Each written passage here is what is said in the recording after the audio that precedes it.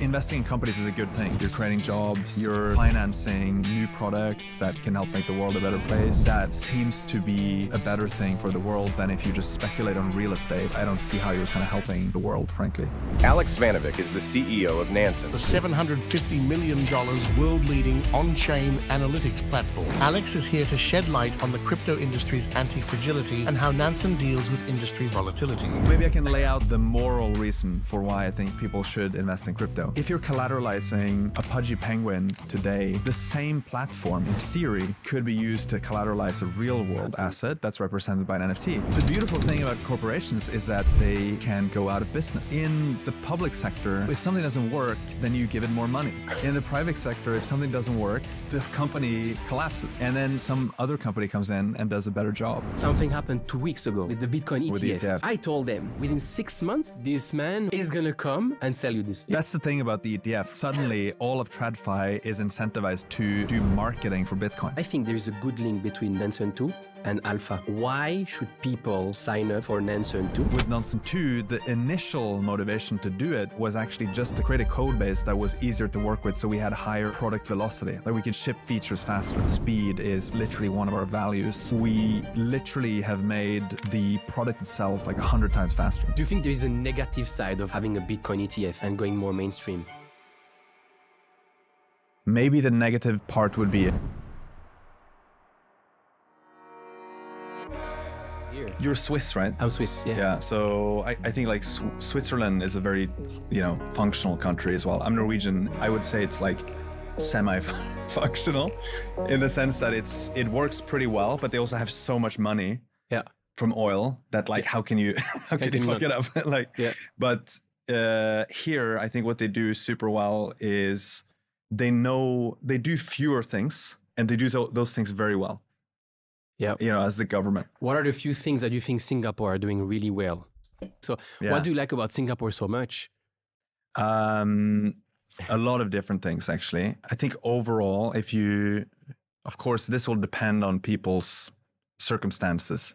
But if I look at countries to live in, it's probably the optimal one for me. Absolutely. And so, you know, we just talked about it now. I think it has this incredible blend of East and West. Uh, it has this garden city vibe that is very unique, and it. I think it enhances the quality of life, frankly, like day to day. Just walking ten minutes outside, which, by the way, many people think that Singapore is not walkable, but it is very walkable, in my opinion. You have to be uh, comfortable with sweating a little bit Yeah. but it is very walkable generally speaking like it's quite nice to just walk from you know i walk to my gym it's like 30 minutes it doesn't matter if i'm sweaty and uh, the weather is typically nice you have like lots of greenery around you uh, but i think like the broader point is that it's very safe D- getting anything done is very quick It's so conve- convenient. it's huh? super convenient, right? And this is a mix of private and and public sector, right? If you think of Gojek or Grab, these are private companies that make your life a lot easier, and it's like three minutes to get a ride, and then ten minutes in the car, and you're pretty much anywhere you want to be, right? Yeah. Um, but then there's the public sector part where like you, if you you know have gotten an employment pass, that's really smooth. You go to the office, like very little waiting time. At least in my case, uh, I got the card like right away, and generally I always get very impressed by how efficient everything that's publicly run is in Singapore. And, it, and you- sorry, you, you could also look at like the the economics, right? You can look at what's the the state budget as a percentage of GDP and stuff like that, and it's it's like a half it's half or a third of European countries. But we could argue that these countries run like a company. So you're saying it's basically public, but it's run like a company. So it's like like a private company. Yeah, almost. I mean, it is it is a democracy, but of course, it's not a democracy that aims to be a Western style democracy. So freedom of speech is not as highly valued. I think you spoke about that with Arthur. Actually, I saw your podcast with him recently. Um, and and it's similar in a company, right? The companies are also not run, you know, in a f- democratic fashion. So there, yeah, it exists on some spectrum between like a company and a full fledged kind of completely open democracy. What do you not like about Singapore? Is there anything? Yeah, I, there are a few things. Obviously, I think it would be better if you had four seasons. Mhm. You can't change that, uh, which is kind of sad. Like that is fundamentally one of the things you just can't change. Um, I, I do like the weather, but I think you lose a sense of time when you don't have four seasons, which is not great. Yeah, we don't know. Like, is it January? Like, if, for me, it's all the time like that. Is it January? Is it summer? I don't Yeah, know. Is yeah, it like September? No Eh, idea. Ah, okay, it's only. Jan. Fine. Exactly. So that's uh, that's kind of frustrating. Um, I mean, obviously, housing is not cheap, but you have to look at that in the context of um, the taxes you pay too. So you have to look at your kind of collect your total spend, Mm. and I think it still works out better. It depends on many factors, of course, and how you live and things like that. So we talked. I mean, you just mentioned housing, but we also talked before uh, on the elevator about another podcast about real estate and and for me, I'd like to put this in context with um, investing, the theme of investing Mm. in general for millennials and Gen Z. Mm. Because I know, I mean, from what I read on Twitter, that you have kind of like a different view than what we can read in, you know, sort of uh, timeless principle investing books, which is usually, you know, you invest in your stocks and your bond, and then real estate is really good, Mm. is a great investment, right? Mm. So, how do you think that millennials and Gen Z should approach investing today? Mm. Yeah, this is a difficult question. So I think if you go back to first principles on real estate, there are certain things that are changing now versus how it's been in the last, say, 200 years or thousands of years. Uh, population growth is probably the primary one. And if you think of just supply and demand, as people have less children and as populations age, I think that it will have a severe impact on the demand for housing. I mean, that's just that doesn't feel very controversial if you just think Mm. think it through. The the other thing is Just just one thing Mm. regarding that. There's still a lot of people. For example, you read Elon Musk on Twitter. He's like, "It's a disaster. We don't have enough kids, right? Mm, We're not reproducing at a fast pace enough mm, for it to be sustainable for our human species and like the GDP growth and everything." But you still have a lot of people that have this kind of almost false view of, of there is too many people uh, sense. everywhere. It's not sustainable, right? So, what would you tell these people? Obviously, like you have your own view, and you know, in relationship with real estate, but in general, right? Yeah. What do you what do you think about that? Yeah, I mean, I'm a technology optimist, so I think it doesn't make sense to be focused on us. Like, I think there's plenty of space in the universe for sure, right? Uh, and even on Earth, if you can develop certain new technologies with regards to energy consumption, food, and so on, I don't see why we couldn't keep growing substantially as a human race. I mean, it just seems a little bit silly to me that we just happen to be at the max right now. Um, but yeah, it does require innovation. It does require new technological solutions that people have to create. Uh, I don't, I would, you know, I wouldn't advise anyone to hold back on having kids by any means. Like, I don't think that makes sense. It's also uh, just from a human race perspective, right? That's that's quite depressing, a depressing thought if you don't procreate. Like that's I I personally think about this quite a bit in terms of, you know, when I was in my 20s, should I have children and so on. And I, I kind of landed at this point where look, I have, you know, arguably, depending on how you look at it, millions of years of ancestors before me in history. They all struggled to survive and uh, procreate. And it would be kind of silly if it just stops with me because nah, I don't feel like it. I feel like I kind of owe owe it to my my ancestors to keep the you know keep the lineage going. So, should I be selfish or should I think about the greater civilization? Right? But who are you helping if you stop having kids? I completely agree with you, Mm. and I also think, by the way, like that that it's not worth living if you don't have kids. Like I don't even know why we're here if we don't have kids at some point. But but but now let's put this again topic of investing and actually the fact that everything becomes so expensive everywhere, which is why I mean Bitcoin, you know, asset price inflation, money printing, all Mm. that stuff.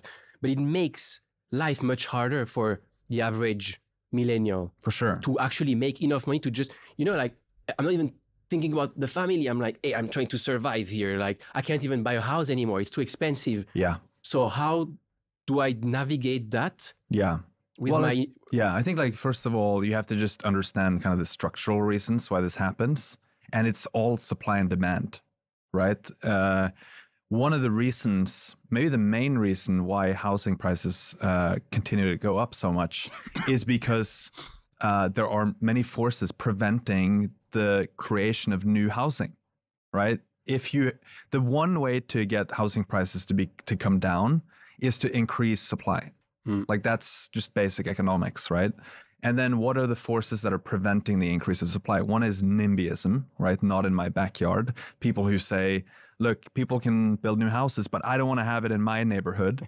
I don't want the construction noise. I like my little forest next to my house or whatever it is, right? So don't touch that. Okay, if everyone thinks like that, you will never have any new housing. And then you have a scarce and kind of artificially scarce supply of housing. That's like the, the, the first part.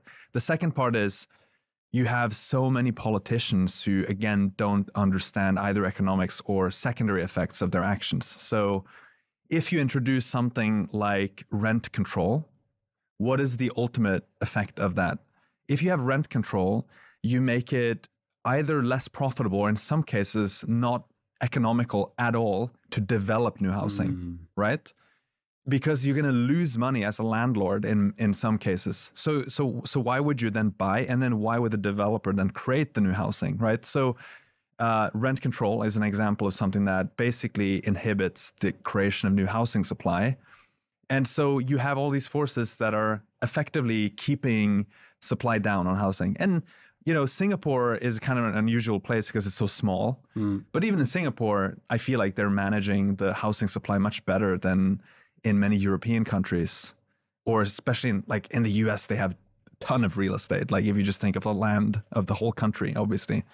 So if everyone is complaining about rents going up like crazy, you think that one of the solutions would be let these rent go up like crazy. Short term is going to be painful, but longer term, this is going to incentivize more I- developers. This- yeah, I mean, like, I think I don't think I wouldn't say just let rent go up crazy. I would say make it easier to create more housing. Like that's where you need to focus. But I'll give you kind of an example of the uh, the wrong way to do it. Which you know, I, I'm from Norway, and of course, in Norway, as many other countries, they say you know it's too expensive for young people to buy a house, and you know, do you have a maybe 20% kind of down payment requirement from the bank if you want to get a mortgage? And then some people are saying, actually, we should remove that. You should ha- not have to have any cash upfront. Let's make it 0%. You could borrow the whole amount. But what does that mean from an economic perspective? That means now everyone has infinite purchasing power or at least higher purchasing power. And what's the effect of that? That means you're going to drive prices up, mm. right? So it doesn't actually solve the problem. the thing you have to do is increase supply if you want to uh, decrease or manage the price of housing. Like there's no way around it. If you artificially try to suppress it through price controls and so on, like all of history shows that that just makes the problem worse.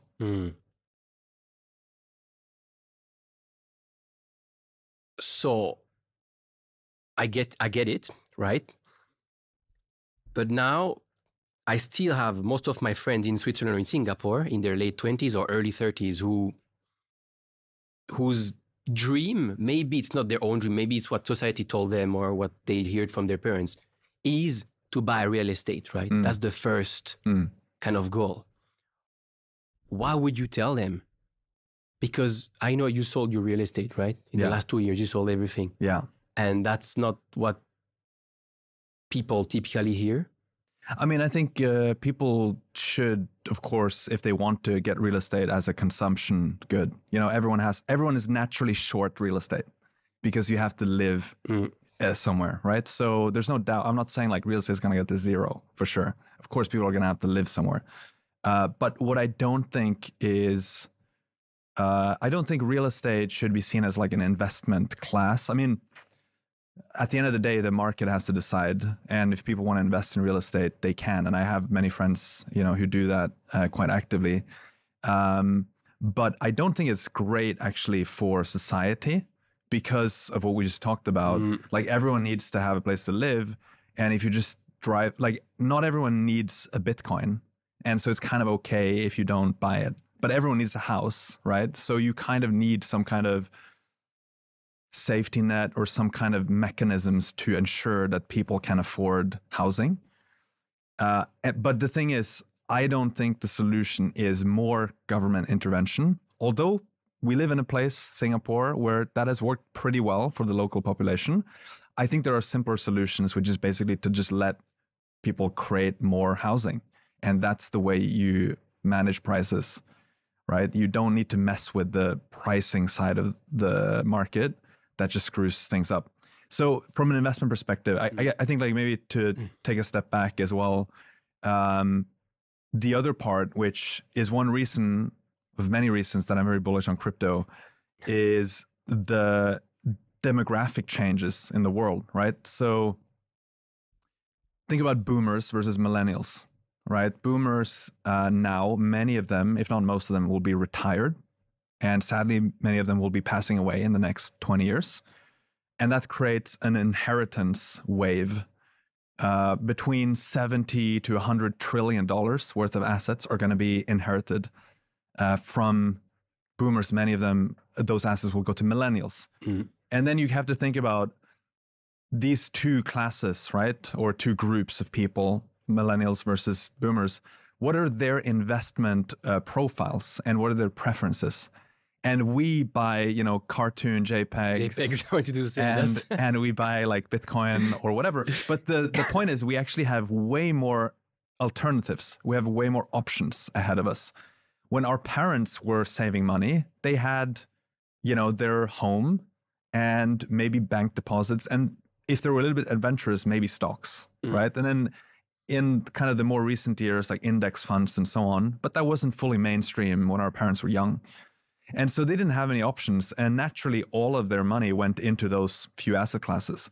So the other part about the real estate story for me and why I'm, you know, bearish on it as an investment class on a multi-decade perspective is that I think it just will have way more competition from other asset classes. From digital real estate, basically. Yeah, digital exactly. I mean, I mean, like assets. crypto is Yes. for me is digital real estate. it's digital assets, right? Mm. And so, yeah, that competition naturally means that, you know, if you're inheriting real estate, many people will choose to sell that real estate. And the question is, does all that money go back into real estate or does it mm. leak, it spill over into crypto and other types of assets?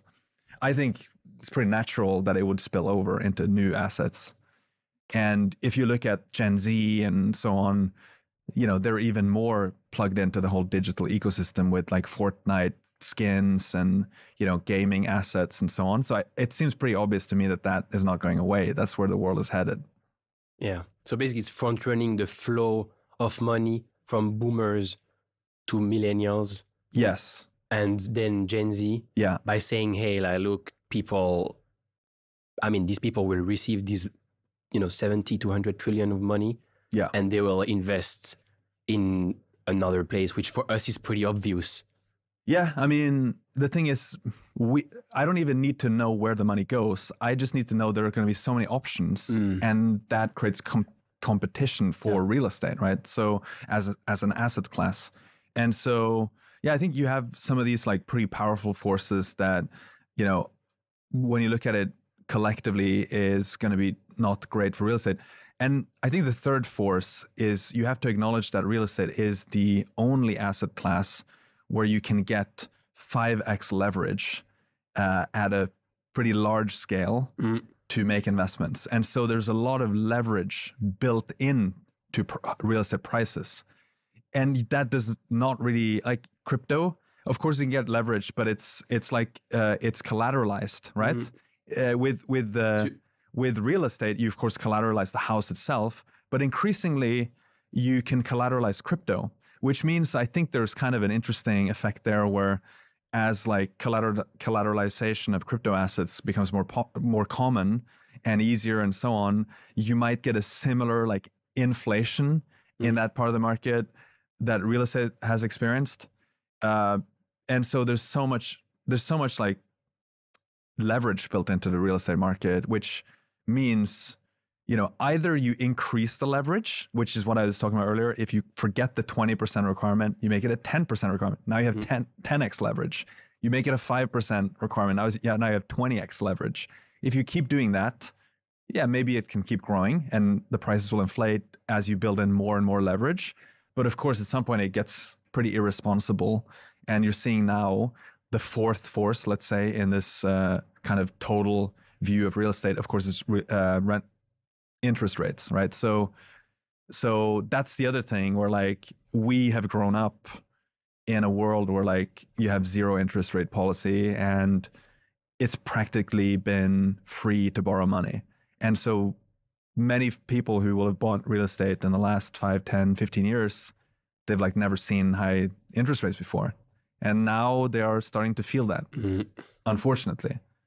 So that's that's more of a short-term thing, right? But I think all in all, there are so many reasons why I don't think real estate is a great investment class on a multi-decade perspective. I'm not saying it's going to collapse like tomorrow or next year or whatever, but I think if you look back at this in the 2030s, we're going to be like, yeah, clearly what what was happening in the real estate sector was a bubble. So where do you invest your money then? Because you're saying there's so many options, right? Hmm. Yeah, I mean, the natural place, of course, is crypto, but of course, crypto itself is is a very diverse sector at this point. And you know, just to be very clear, I'm not an investment advisor, right? So we're not giving any financial advice. We're just sharing. I know where you're going. I'm all in crypto.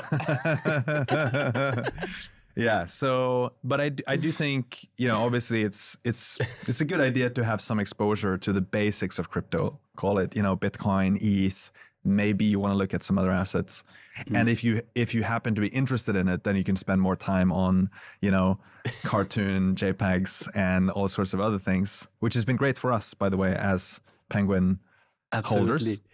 I- Is there anything else that you're looking at beside crypto for the next five to ten years? I mean, obviously just- companies, right? Like stocks. So, but I, I don't. I think like there's an interesting split between public stocks and private stocks, and increasingly you're seeing that money is kind of going into the pub, so the private part of of uh, of um, stocks. So um, there, there's another kind of related force to what we were talking about before with regulations and so on on, on real estate. You can think about how hard it is to go public now, right? And so you have to, if you think about the 90s, Netscape, right? They went public after I think it was 16 months Mm. after they started the company, which is incredible. And that would never happen today because there are so, uh, it's so much more expensive and the regulations basically make it super hard for you to go public. Um, you know, you could argue for some good reasons, but that ultimately means that most retail investors who can access public stocks only only get access to a company very late in the uh, life cycle of a company. And what is happening with people like you and me and others who are uh, kind of active investors, let's say, is that we manage to invest in private companies, right? And so that seems to be a trend where like everyone is an angel investor. Uh, maybe I'm being a little bit myopic because you know in crypto we we tend to do that. Not everyone, of course, will be an angel investor, literally speaking, but that seems to be kind of a trend that's happening where you are uh, investing more in private uh, companies, not public companies. And I would say this is also something that's investing in companies is a good thing for the world, right? That means you're financing new products that can help make the world a better place. You're creating jobs and so on. And so, just from again, like a societal perspective, that seems to be a better thing for the world than if you just, you know, again, I don't want to sound too critical, but if you just speculate on real estate, I don't see how you're kind of helping the world, frankly. Mm. But maybe you could say the same thing about crypto. I was about to say that actually. Yeah. I was about to Yeah. say exactly that. Is And- it better and- to speculate on a and JPEG so- on real, on real estate? It's kind of Yeah. like So maybe I can lay out like the moral the moral reason for why I think people should invest in crypto. And I think what we are doing in crypto is we're building the future of finance, right? And the financial system today is broken. Like it has too many middlemen, it has too high fees, there are too many gatekeepers, there's not enough innovation. I mean, just look at the banking sector, even fintech companies are quite slow and have to raise yeah. so much money to overcome lots of hurdles. And so crypto re- represents the alternative to that, right? You don't have middlemen, or at least you have fewer. You have lower fees in aggregate, depending on how you look at it. But generally speaking, it's much cheaper to send money across the world, for example, with crypto. You have much more innovation and you don't have gatekeepers. It's a permissionless system. But right now, in the beginning of crypto, you also have lots of speculation. But I think the speculation funds the creation of the infrastructure. Absolutely. And so you might look at this and think like this is nonsense, like mm. buying meme coins and buying cartoon JPEGs and whatnot. But a lot of the infrastructure that gets built will genuinely be used to run the future of finance.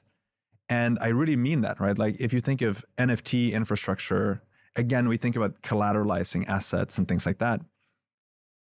If you're collateralizing a pudgy penguin today, the same platform in theory could be used to collateralize a real world Absolutely. asset that's represented by an NFT, right? The liquidation mechanisms, all these different things, oracles, like they can work and smart contracts more broadly speaking. So so I think that's the that to me is kind of the the master plan actually. And there's no grand, you know, puppet master in the back orchestrating this, but that's kind of organically what's happening.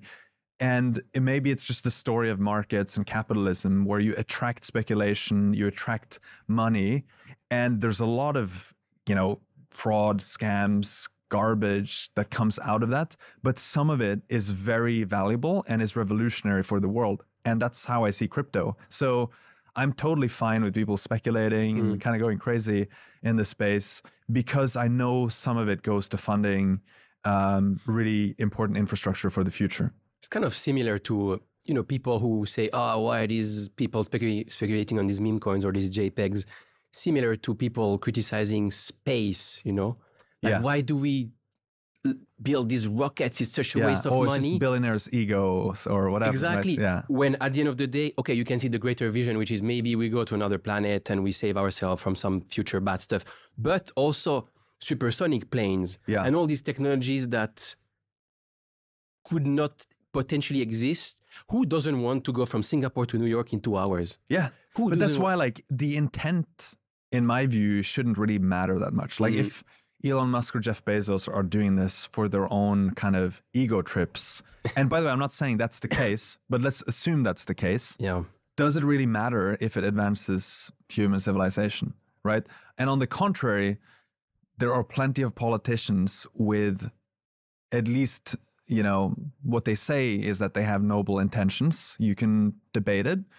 But what are the results? Like I said, with Absolutely. rent control and things like that. Absolutely. Well, the intention is, hey, I want to give you cheaper housing. I get that. The intent is good.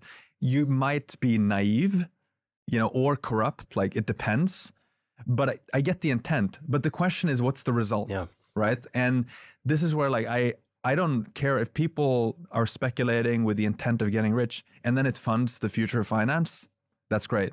Like what matters at the end of the day is are you actually making the world a better place? Are you creating a future that's exciting that you want to live in?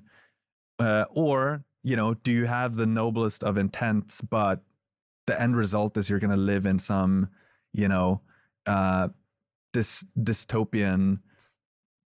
I don't want to use the word socialist, but that is kind of the word that's coming to mind.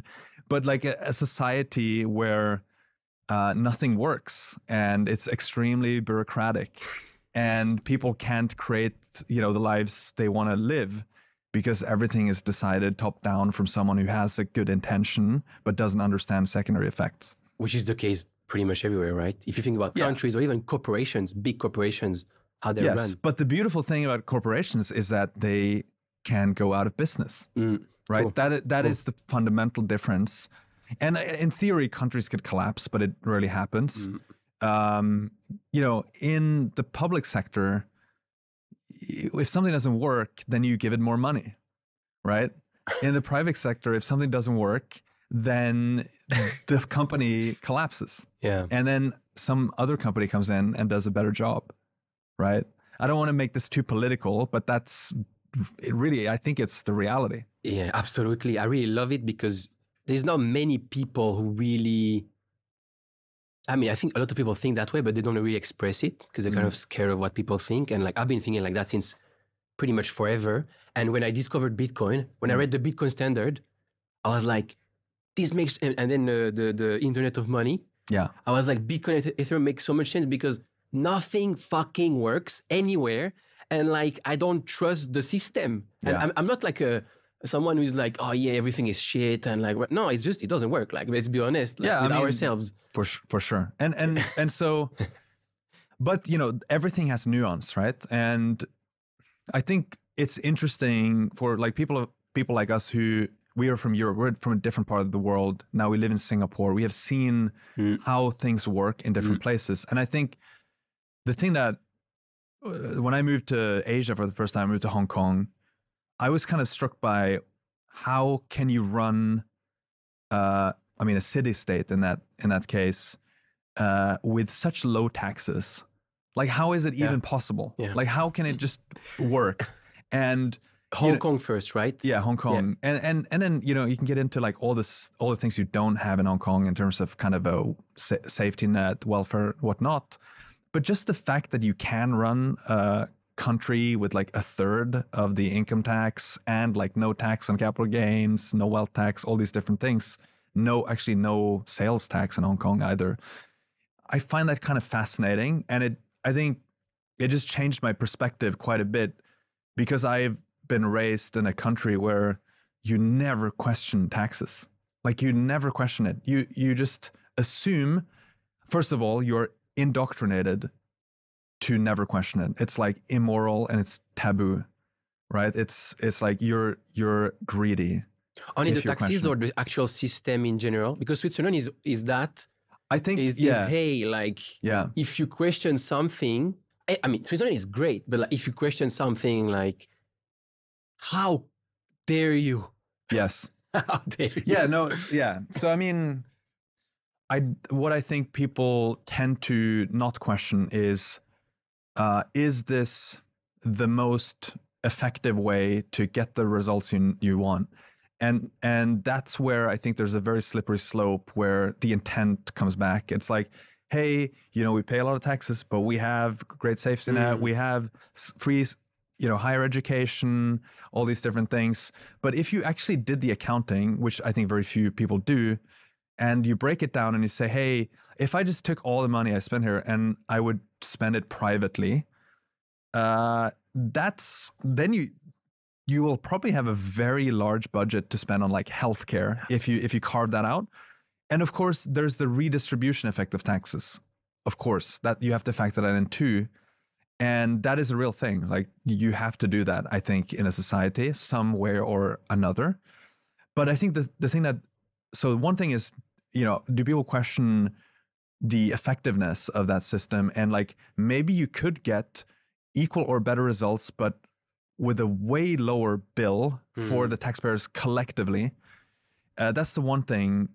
And i think um, the the other thing is just generally uh, very little uh, interest in um, carving, like reducing spending. There's like an incentives problem in government where no one wants to reduce spending. Like, why would you reduce spending, right? There's there's no incentive to do it. You're always incentivized to grow your your team, your department, whatever. There is literally no incentive to ever cut, and even ministers will kind of compete to get the biggest chunk of the budget, Mm. right? So there is literally no incentive to cut it. What's really interesting, I mean, here you're talking about taxes, but again, if you think about the Swiss mindset, and I look at my parents, who I love, by the way, but like, I'm not even talking about taxes or government, I'm talking about banks, right? Yeah. How do you justify these freaking fees? I mean, now with crypto, I kind of like edu- educated them, so like they start to be like, oh, no. And they would, the very Swiss way is, you don't question a banker or a Mhm. lawyer, That's right? interesting. Yeah. And you need to pay fees for this person to be earn Because they have a earning suit. their bread, right? They have a suit. Exactly. And I'm like, yeah, but you don't need to pay that much fees because this dude doesn't need an Audi R8 Yeah. or a freaking mega houses or an amazing suit to come to see you to impress you. No, no, no, no. Like that's not the way to think about it, right? Mm, mm, mm. And so think about that. I have a specific bank in my mind, which is still, I mean, the biggest bank of Switzerland, which is still alive today. Yeah.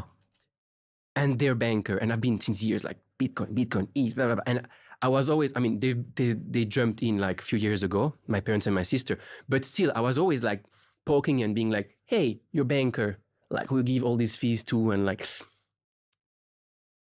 talk to him about Bitcoin. And he's always, oh, no, no, since years, oh, it's horrible. It's just, it's scary, it's scam, it's dangerous, blah, blah. blah. And now something happened two weeks ago, right? Mm. With the Bitcoin ETF. With ETFs, yeah. And I told them, I was on holidays uh, in the They're Philippines three weeks. completely. I told them, I was like, within six months, yeah. this man whose name starts with a P is going to come to you and sell you this. yeah. That's the thing about the ETF, right? If you just think about it too, suddenly all of TradFi is incentivized to do marketing for Bitcoin. Chill which is bags. kind of incredible, right? It's like uh, you, it's such an amazing plot if you just think about it. How you how did this happen? It's like brilliant. Like who engineered this plan? It's it's a genius plan. Do you think there is a negative side of like having a Bitcoin ETF and going more mainstream for the industry? I think all in all, no, not really. I think generally you want this to go mainstream. Um, maybe the negative part would be if too if too large of a portion makes it into these ETFs, so that somehow disproportionately they get power. I don't know. Eh, that's maybe more of a risk with ETH because you have you know ETH staking The yield. Mm. and validate validators. With Bitcoin, it's a bit more separated because you have miners, right? So that's separate from the whole, you know, holding of the asset. Um, I think my, you can you can probably place people on kind of a scale of, are you kind of a sort of ideological maximalist when it comes to crypto, where you will be uncompromising on many different things like decentralization and so on. Uh, or you could be more of a pragmatist, where the the goal is really to just get this out to as many people as possible. Mm. And I think generally I fall more in the camp of the pragmatist, and I think those virtues of decentralization and so on are important, and you should be weighing them and sort of gauging them ho- how you're trading off different things over time. But Mm. generally speaking, I think it's a good thing to just get new avenues and a larger surface area for crypto in the world. Yeah, and more money and more big brains to work on like making this infrastructure work because now they depend on it. For example, Yes. if BlackRock BlackRock needs Bitcoin to work, right? If they sell these products with their clients. And if it gets a large enough like revenue stream for them, yeah, then they do start like quite literally depending on it, right, to pay their staff and whatnot. Uh, but I mean, we're very far from there still. Um, but yeah, it, it is really interesting. I think um, you know it, there are many there are many things happening in crypto this year that I think are quite positive for the industry. We had a disastrous, you know, eighteen months or so.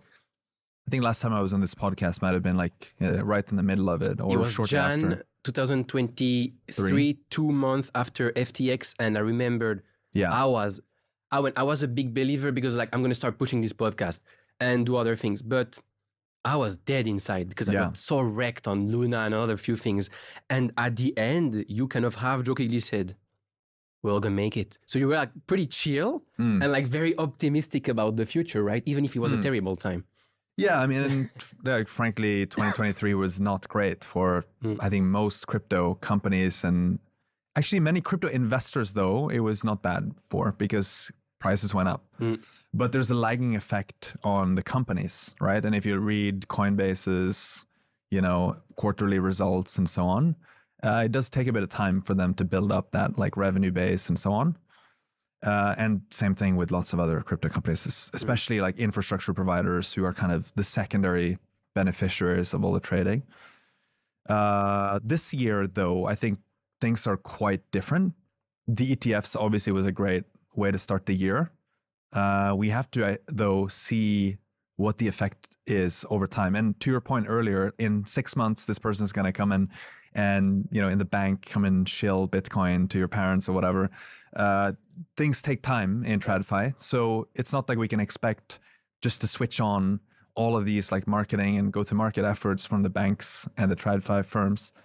But I think over the year, I can't see how it won't just ramp up, you know, in that sector. Absolutely. Then you have the halving, of course. You very likely will have an Ethereum ETF as well. And then that kind of opens the door to more ETFs. I wanted to ask, do you think there is other? I mean, Ethereum ETF. We had a Larry thing the other day, kind of like talking about tokenizing everything and everything. Yeah. Do you think that it's possible this cycle we have not only Bitcoin and ETH E- uh, ETFs, but others like Solana, whatever? I think it's possible for sure. I think it's possible. Okay. Like I don't have a strong view on it. Mm-hmm. Uh, I do think Bitcoin and like Bitcoin is in a class of its own, but then ETH is also I think quite clearly one one head above the rest in terms of how people think about it, how long it's been around, etc. So I don't think it's an automatic, you know, ETH ETF and then Sol ETF the next week. I don't think that's going to happen, but it naturally opens the door to more assets. You kind of go from like, you know, monotheism to polytheism, Mm. right? You kind of open the door to that. Yeah. And then, you know, there's a lot of assets there to go into. Another big thing for the crypto space that happened this year is Nansen 2. Yes. Yeah. Or last year, technically. Like we launched it last year and then it started really taking off in 2024. Uh, yeah, that's been that's been cool. I mean, in that sense, 2023 was also a builder's year. Yeah. right? There was, uh, and you could argue 2022 to some extent, although it was very disruptive for builders too. When uh, you see FTX and Terra and all this stuff, in 2023 you didn't have that many dramatic incidents. You mostly had companies saying like, "Let's get back to building." And get really hardcore on improving our products. And that's what we did at Nansen, right? We had to make some difficult decisions in terms of focusing more reducing our surface area because we had ex- expanded our vision quite dramatically um, in a short amount of time, and we had to pull that back and think like, where are we uniquely good as a company? Where do we create the most value? Let's do more of that. And I think Nansen Two is uh, a great example of that. We also had some legacy issues that many small and large tech companies go through where it's hard to just build on the code base you have and you onboard new people those new people are like this code base is super difficult to work with and so with Nansen 2 the initial motivation to do it was actually just to make it, create a code base that was easier to work with so we had higher uh, product velocity like we could ship features faster Mhm. that was actually the initial motivation So starting from scratch, a new code yeah base. we, we yeah we built the whole thing from the ground up you said that the goal was to do that every year. Is it correct or Uh, not? I don't know if I said that. I don't, and I don't know if you should do that every year. I don't think you should do that every year, actually. Uh, but we had to do it Mm. um, for many different reasons. Um, so the whole thing is built from the ground up, which first of all means we can ship new things faster, which is needed in crypto. You need to move very fast, and speed is literally one of our values. Although I don't think we were living up to it that well in 2022. I think that's now changing. The other part was we literally have made the product itself like a hundred times faster. So if you're a user and you just want to get the answer to your question, both in terms of the navigation, you can just smash Command K and write, you know, little pudgies or whatever mm-hmm. you want, and you're taken to the right dashboard. Mm. You don't have to like, do I go to NFT God mode? Do I go to wallet profiler? We just know where you want to go based on your input. Okay, it sounds kind of obvious, but that was not the case in Nansen 1. So the path is much shorter from question to answer. And then the literal performance of the database that powers these queries uh, is has is a different technology. And so it is a hundred times faster to just get the loading of whatever you're looking at, which is a huge benefit. And then we've also added several, I think, very innovative features that make the whole product more personalized and makes it feel more streamlined. For example. So we have this feature called Smart Segments, Mhm. where you know, historically, people know Nansen for our ability to label wallets. Mm. And this is still something we're the best at. We have more than 300 million addresses labeled across lots of different chains. And now, though, we have created this functionality where you can decide your own criteria. Like, let's say you wanted to monitor everyone who has made, I don't know, 10 ETH on Bored Apes. You can drag and drop, like, or select some filters very quickly, and you configure that, you know, traded token, Bored Ape, profit, 10 ETH, boom. And then it loads instantly a segment of wallets. And you can now save that segment and say Bored Ape profiteers or something like mm-hmm. that. You can also do the opposite, who lost money on Bored Apes or whatever. And we're adding more and more criteria for that. And you can then create these different segments that you can, first of all, you can profile the segment. So, what other things do those wallets hold today? Right. So, that's kind of your own smart money or your mm-hmm. own segment of wallets that you want to track. And then you can bring those segments into the rest of the product and filter and set alerts and things like that for it. So it, it just allows you to customize things much more, but you don't have to code. And it's super snappy to set it up. So that's one example. We also have a feature called Signals, where you don't have to, because many people feel like they go to Nansen, they need to have like a thesis, they need to know what they're looking for. Mm. And what you can do with Signals is literally a feed that just surfaces anomalous events on chain, Very smart. right? So, hey, this token has like 500 times the amount of inflow to centralized exchanges than it's ever had. Like, what's going on there? Well, let's take a look.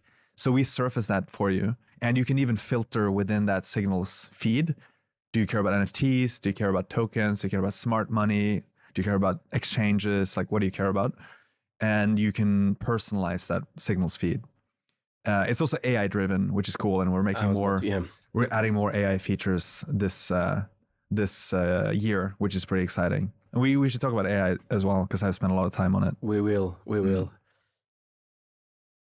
There's a there's a part we added to this podcast which is called basically crypto alpha Yeah, because that's what people want on Twitter. You know, some concrete alpha. yeah, And I think there is a good link between Nansen, Nansen two, and alpha. yes, So the the the the, the first question would be why should people sign up for Nansen two?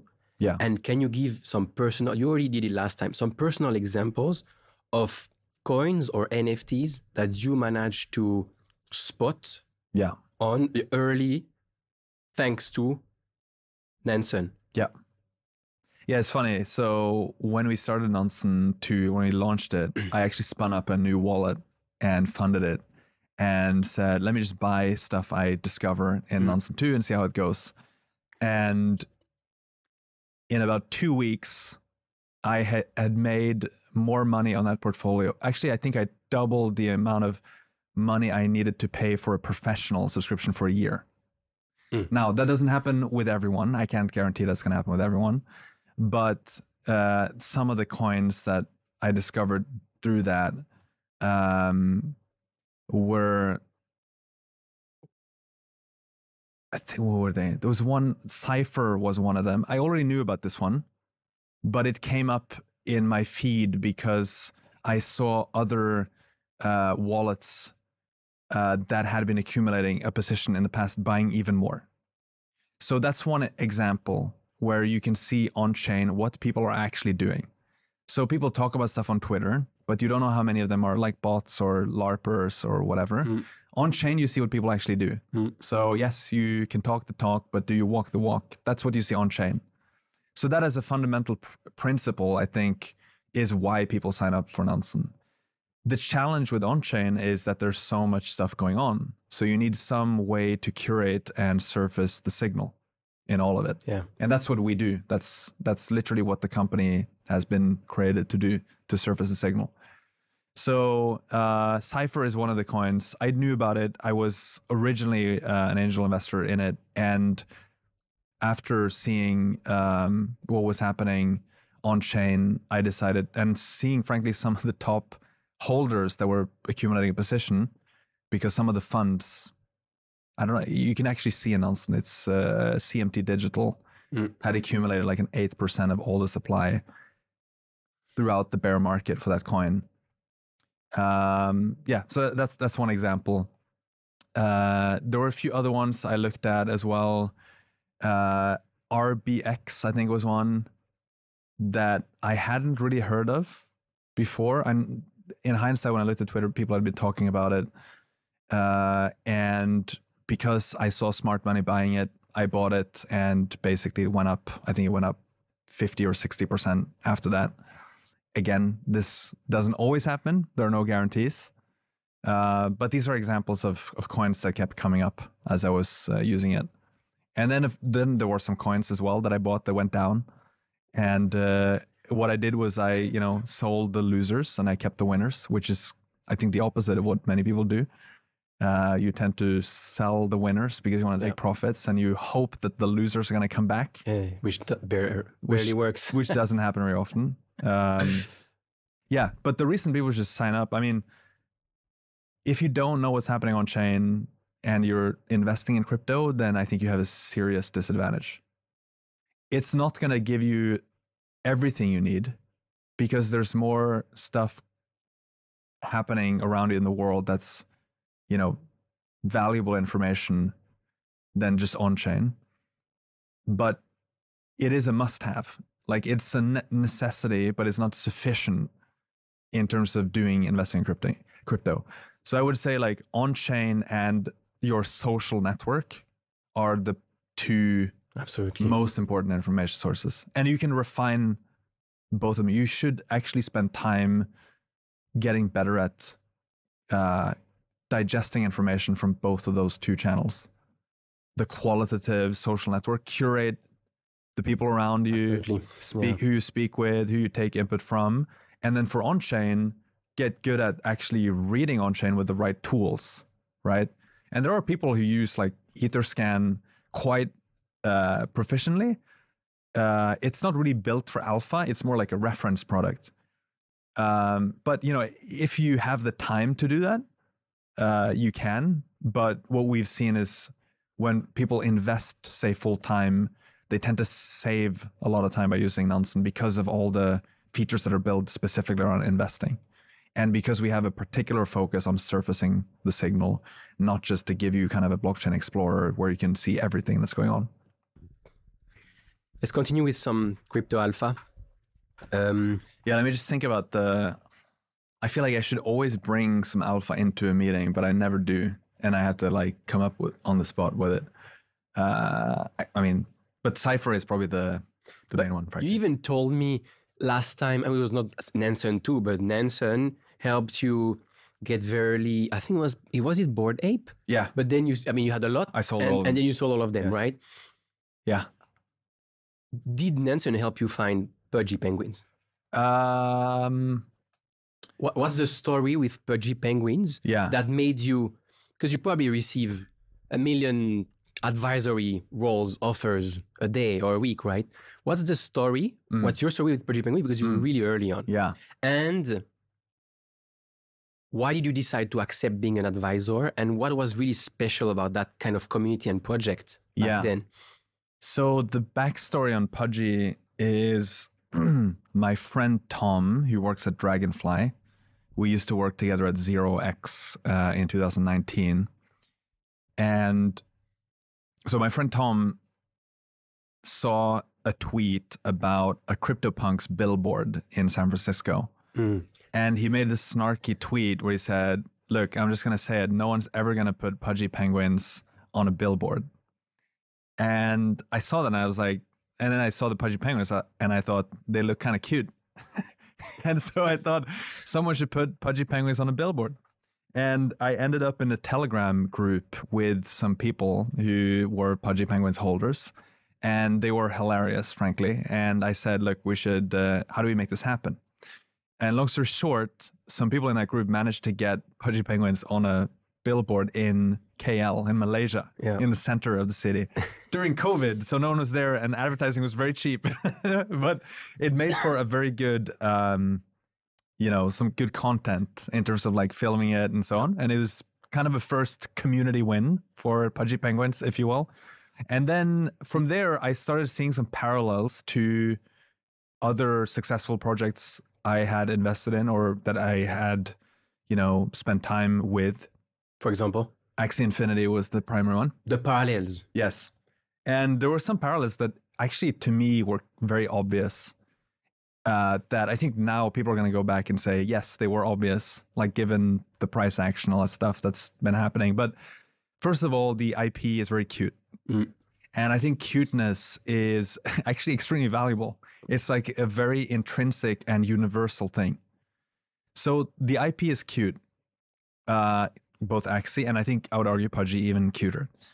The second part is the community. And Axie, I don't know if people know this, but they had a very hardened community in say 2019 before everything, you know, started going super crazy. And people were very engaged with that whole community, playing the economics of it, the kind of organic scholars that were popping up, people kind of l- sort of leasing out their axes and other people playing the game with their axes. So there was this very strong community around it. And similarly, Pudgy Penguins was getting this very organic and strong community. And, you know, with everything that happened um, with Pudgy Penguins, that community proved to be very resilient, right? Is this, is this pre Luca takeover? Yeah, exactly. So Wow, this was okay. so this was like, you know, you're seeing the signs of a strong community, but it wasn't fully formed and hadn't gone through that many trials yet. Then the whole thing happened with the the rogs, right? Mm. they put fishing rods in our eggs. We, is kind of the meme, right? There was like this egg. People don't know what's in it. Everyone thinks it's going to be a cute little pudgy, which I think came later. And then you open the egg and it's a fishing rod, and it made absolutely no sense. And I think that became like a crisis in the community in terms of the leadership. They thought, what the hell are these guys doing? This makes absolutely no sense. And in hindsight, it kind of became part of the lore because it was so funny and silly. But uh, many people then stepped up and said uh, that they wanted to buy out the whole project and take over the project. And the one who was successful in the end was Luca. And so this added a third C to, you know, we have cute, we have community, and now you have a CEO as well. So there's a third C that comes in there. And frankly, Luca is an incredible leader. He is so inspiring. He's a visionary and he's a real hustler. Like he's a he's kind of it's a bit unusual, I think, in the venture startup tech sector to see someone who has this kind of hustle energy. I mean, startup founders are often more kind of they are visionary, they're technical. You think in, you know, very big terms like you know, high how high is up is kind of the sort of VC way of thinking about how big can this be. Hmm. But he's more like a scrappy hustler kind of guy. And he has a track record of running businesses, making lots of money, selling them, and so on. And he's very young. Mm. Uh, he also he also I think has very good values and you know is has high integrity. But these things I kind of learned over time. I didn't know that immediately, but you know he is a big portion of why I have been and and I'm still very bullish on Pudgy Penguins as a community as a project. There's a fourth C2, which is the content. So this is the thing that he saw that Yeah. As the CEO, I think was one of the great calls he made is like the content is really good, the IP is really strong. That's the thing that's super valuable. How do you just create more content? And he and the rest of the team dominated Giphy with Pudgy Penguin GIFs. And it's the most obvious play in the world in hindsight. but they have like billions of views Billions on of views. Giphy. Yeah. And people just use Pudgy Penguins GIFs. And Without doesn't- knowing it's freaking Pudgy Penguin. Exactly. Like literally on Teams, on Yeah. WhatsApp, everywhere. They don't Yeah. need to know it's an NFT. Why would you need to know it's an NFT? It's just a cute penguin. And then they also, of course, have the largest Instagram of any NFT collection, Yeah. more than a million followers. So they really nailed the content piece. And by the way, the Instagram profile has a very different content strategy than most NFT collections would have, right? It's focused on mental health in a very positive way and so on and so forth. That's why And it goes so viral. Like, like yeah. And and so I think um they also because he was so good at doing business and thinking about how do you get revenue and things like that, they were able to roll out the toys and the plushies and all that stuff. And I think he realized that, like, look, you bootstrap a business from this community. You don't extract the value from the community, which is what many NFT collections actually do, right? Through like royalties or, you know, just selling more, you know, diluting your collection, like the Azuki's Elementals is like the canonical example of that, in my view. You just dilute the the original holders and you actually dilute your community, which I mm. don't think is a good thing. And so he- he saw this as an opportunity to go outside of the NFT bubble into a much broader mainstream market and sell toys, get the IP out there, and do licensing deals, which I think he's gonna crush it at, like over time. build a build a real business essentially. which Yeah, he built a real business, yeah. Or in NFT, like not, Yeah. it's not big thing, right? Yes. Like, and so so I think like Luca is the type of person who makes me very bullish on the Gen Z generation. Mm. Actually, uh, I think they that like Gen Z they kind of get a lot of heat uh, and they get ridiculed. But there are some people who are just incredible founders, like Mr. Beast, you know, as another example. Yeah. Just unbelievable entrepreneurs and so hardworking, so smart, so creative. And uh, anyway, so that's kind of how I ended up um, the, the the journey more or less on Pudgy Penguins. And then he asked me to be an advisor because I'd you know supported the the project over time and you know helped him a bit with a fundraise. Mm. Uh, and uh, yeah, it's amazing to see this you know this vision that that he had come to reality and to see all the work that people have put into that project come to fruition. I usually don't like to talk about prices on this podcast because I like to do like sort of timeless, non-shilling Hmm. interviews. But you tweeted, I loved so much. We- You tweeted 10k per ETH, 100 ETH per penguin, ice cold mathematics. which means I mean obviously you're a bit, a bit memeing here, but like which means a million US dollar per penguin. yeah. What's your rationale if there is this any? is my like biology pr- prediction, right? Uh, yeah. No, um, it's not very mathematically based. I just think that they can reach. That's I, I. If you break down the two components, do I think pudgy penguins can reach 100 ETH? Yes. yes, absolutely. Do I believe ETH can reach 10,000?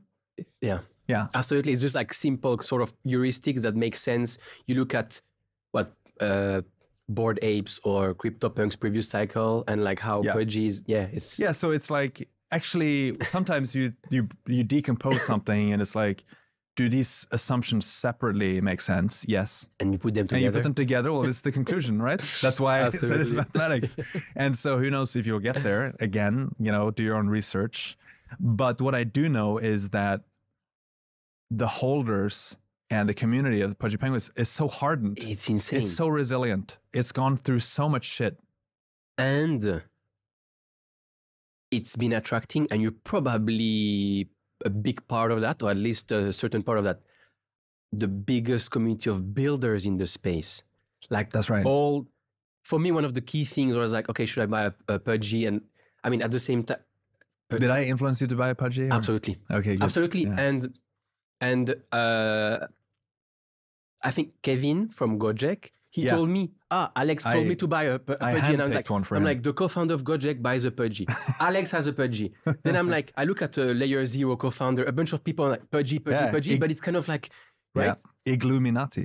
like absolutely Yeah. Illuminati. So basically, then I'm like, hmm, interesting. Then Luca comes on the podcast. I'm like, fuck, man, the guy is really next level. I mean, I Yeah, was- you get very bullish when you meet him. Right? Like he is very inspiring. and then and then you know to Bobby from CoinGecko. I mean, basically, Yeah. every, and now everyone, now everyone is going crazy on that. But even Yes. before, Yes. if you're on the lookout, six months ago, eight months ago, Yeah. the key builders in the space, Yep. Pudgy, Penguin, P- PFP, like so, it was all there Yes. in plain sight, right? That's right. how except i mean maybe with some of your help but like, how did this happen that most of the biggest builders which means by the way these people first they're builders so they're going to support the founders second they have money so they're not they're less likely to sell right Yeah. how is it possible that the community is so strong Well, a lot of it- everyone A lot of it. I mean, it comes down to some of those fundamentals, like I was saying before. You know, the cute IP, the community, and so on.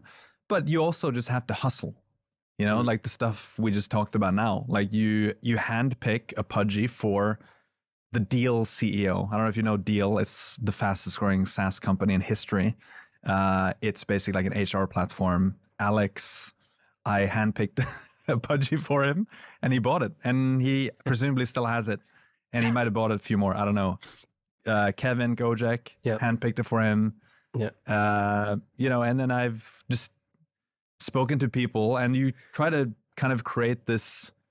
You're creating a community, right? That's the thing, which is kind of interesting with crypto that the asset and the community are one in a way, which is kind of an interesting thing, right? Where every every token is a community. Which is good and bad because you can create these echo chambers Yes, that sometimes, you know, a Celsius or Luna, all these things, like it's not that is true. Yes, for sure. But But But for something that fundamentally, like you know, the only value in a pudgy penguin. I mean, you could sort of come up with some thesis around we're going to get X amount of airdrops in the future. That's like a future cash flow. Uh, but if you just think about it, there are no promises Hmm. based on your Pudgy Penguins NFT. It is just a cute penguin, and that's it. So there is no, there is no scam that can happen yeah, because it is There's no it- promise, There is yeah. no promise in a way, right? You can think about the roadmap and all the different things happening, but at the end of the day, you know, you're not owed uh, dividends or like well, cash flow or anything like that, right?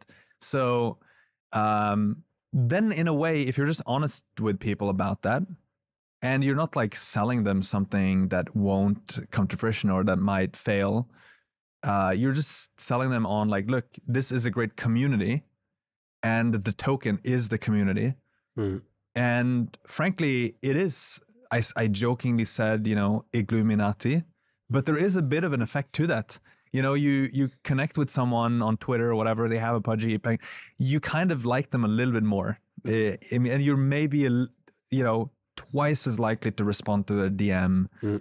or whatever it is, uh, and that's cool. You don't know, you know, their gender, their nationality, their ethnicity. You don't know anything about them, but they have a pudgy penguin, and it's totally meritocratic in a way, which Yep. is kind of cool.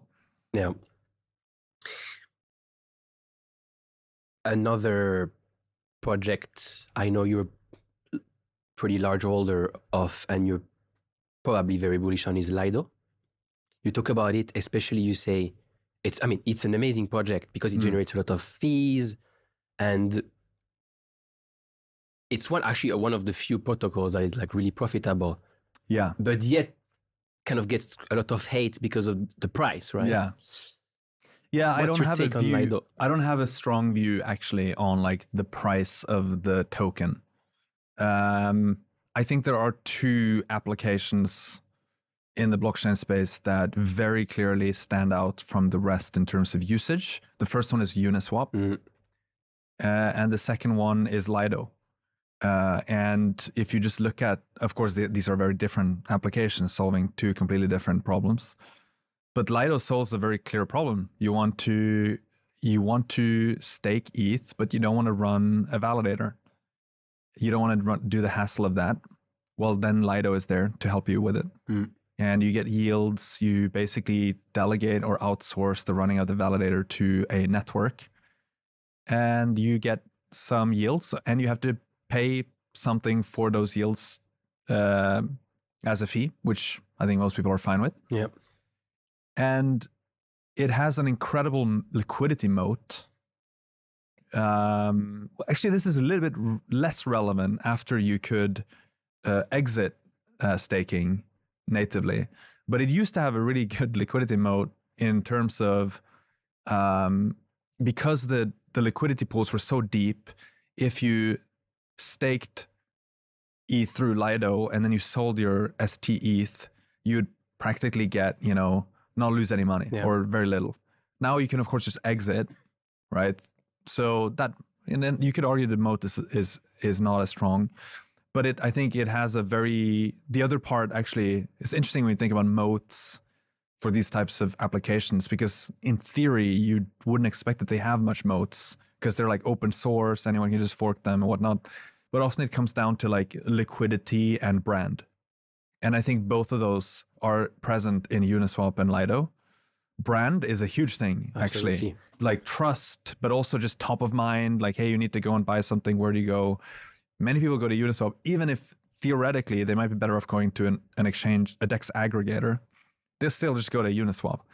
Um, and I think Lido too. If you want to stake ETH, you you know like that's what most people do, so you can probably trust it, Mm. and so on, right? And so it has a huge market share, enormous, like so big that people were many people hate it because it has such a big market share.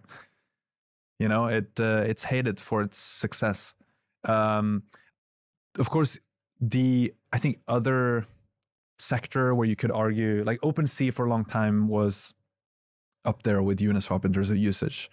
With NFTs cooling down and also the NFT category becoming much more competitive, I think it's less clear that they are, you know, at the very top echelon of applications. I personally love OpenSea. I think it's a great product.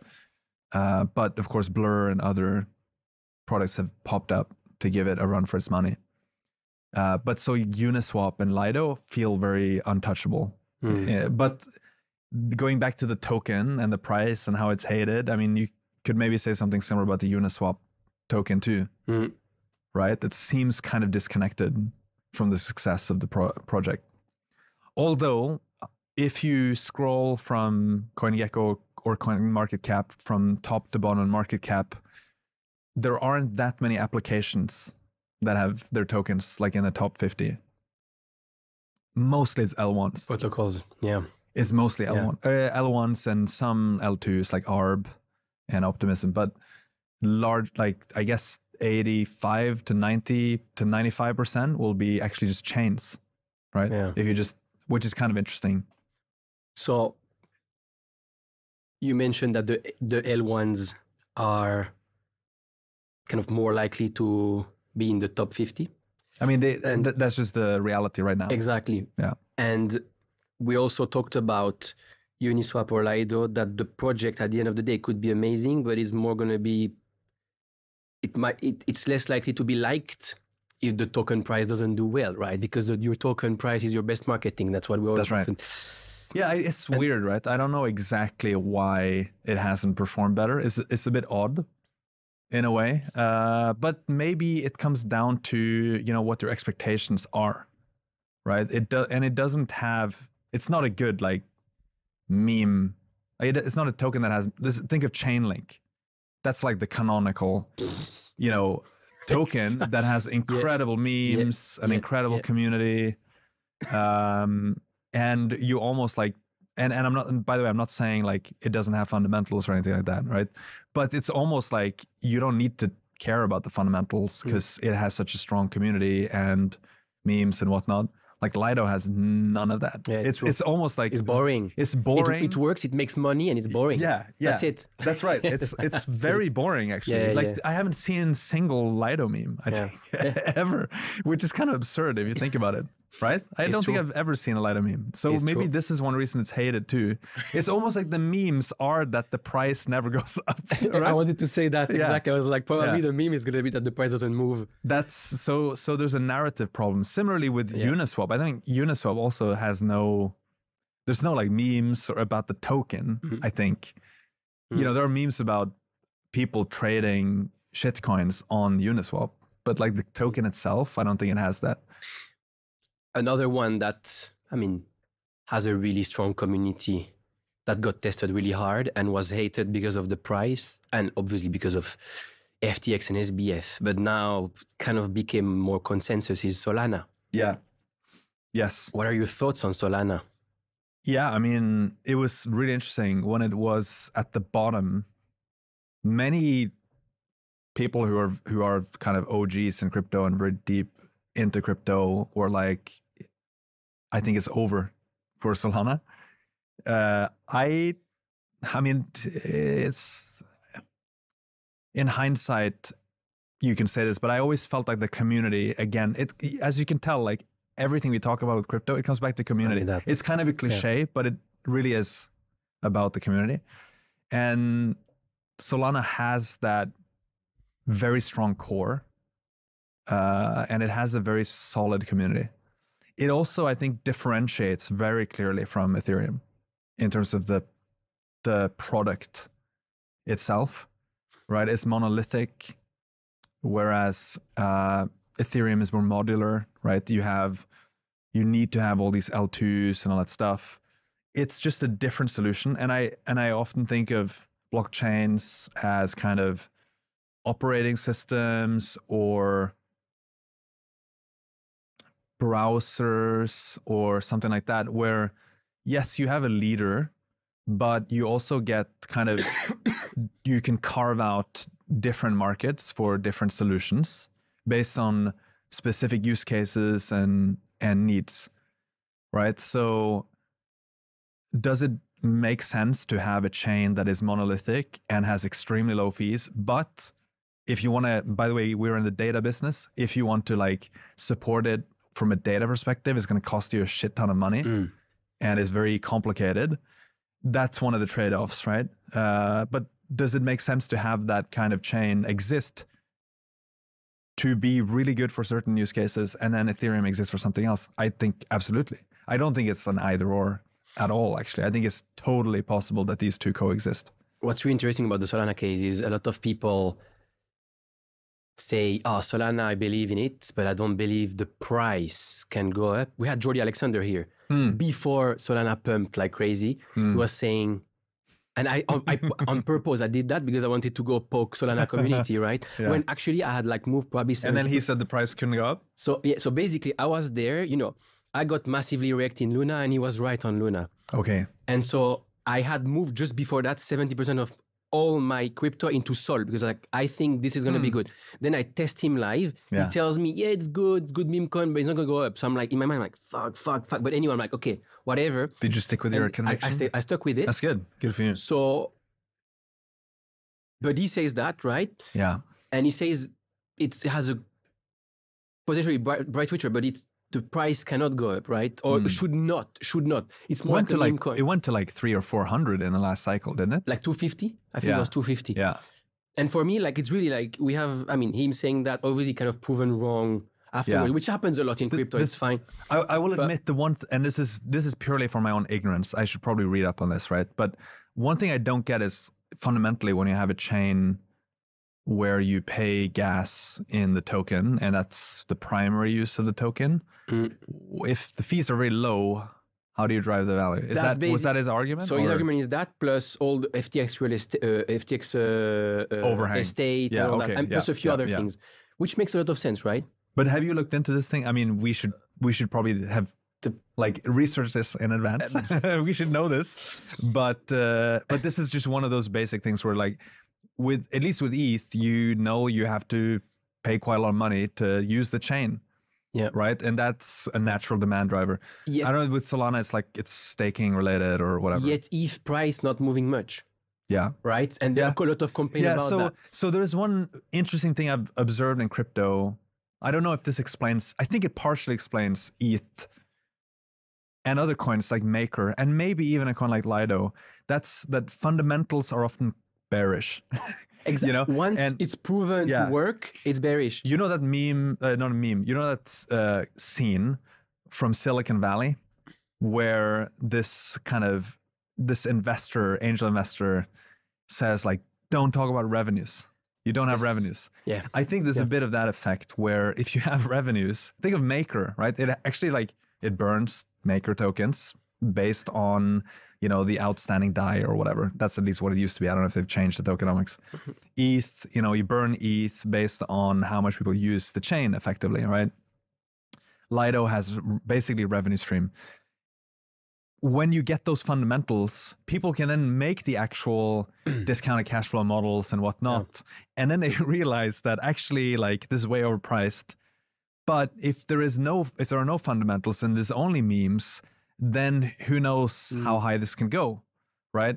So this is, I think, it's a kind of a scary thought because if that's true, then it suggests that all of crypto is like severely overvalued. But even in a, even in the startup world, like I've heard many times, hey, your your kind of chance to get a good valuation is your seed because you don't have anything to show yet, right? And therefore, once once you start making revenue, or talk about revenue but never talk about profit. If you're making profit, don't talk about profit. Okay, yeah. Like and I'm like, whoa, whoa, whoa. Yeah. Anyway, very, very.